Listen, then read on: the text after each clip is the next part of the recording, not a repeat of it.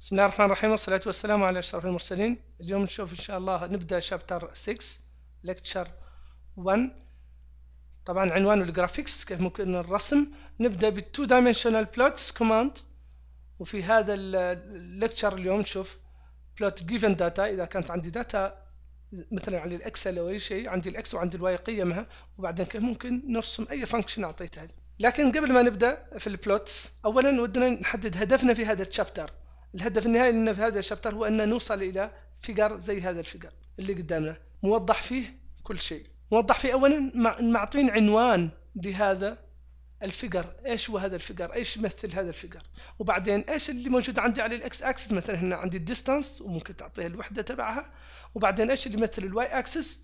وهل ونحدد بعدين اللون الخط ونوع الخط. شايفين خط متصل وهنا خط متقطع؟ وطبعا لما يكون عندي أكثر من رسمه لازم نحط اللوحة توضيحيه مين الأحمر ومين اللي بخط أسود متقطع.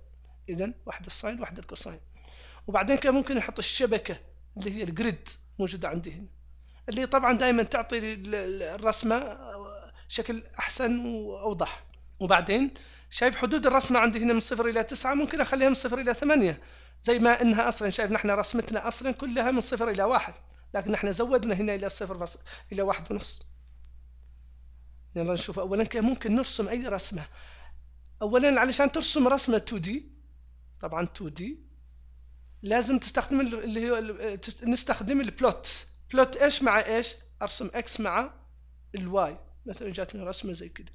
مين ال x هنا؟ مثل الاكس اكسس إيش اللي المفروض إيش الشرط عليها؟ لازم تكون 1 dimensional array لازم تكون صف واحد أو عمود واحد. ما يصلح إنها تكون أكثر من صف أو أكثر من عمود. ال y كمان لازم تكون vector لازم تكون هي ثانية صف واحد أو عمود واحد.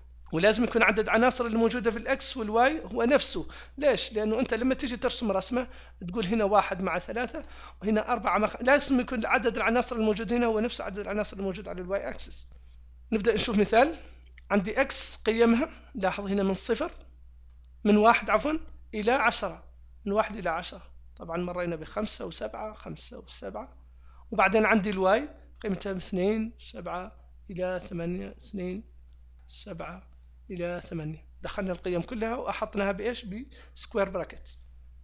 إذا عندي ال x وعندي ال y. الشرط الوحيد اللي لازم يكون متوفر فيها هو أنه لازم تكون لها نفس العناصر. لازم يكون نفس العناصر الموجودة في ال x هي نفس العناصر الموجودة في ال y. بعدين نستخدم اللي هي ال function plot نقول ارسم لي هذه ال x مع هذا ال y بعد ما نحط enter على هذا الأمر حيفتح لي هذه الرسمة. لاحظ رسم لي الإكس هذه هي الاكس وهذه هي الواي طبعا أعطاها بلون أزرق وشايف ما أعطاني هنا الشبكة ولا أعطاني عنوان على ال x ولا على ال y ولا ال title ولا أعطاني هنا ال legend هذا تحددوا أنت كله له أمر وحنشوف إن شاء الله في المحاضرات القادمة. طبعا إحنا شفنا كيف ممكن نرسم data إذا عندي data هل هل ممكن نرسم function نعم. ودي ترسم لي هذه ال function من سالب اثنين الموجودة عندي هنا إلى كم؟ إلى أربعة. ال x اللي هنا موجودة عندي هنا ودها تتغير من سالب اثنين إلى أربعة. إيش الخطوة تبعها؟ هو هنا حدد لك الخطوة قال لك صفر فاصل صفر واحد. إذا ال y إيش هي؟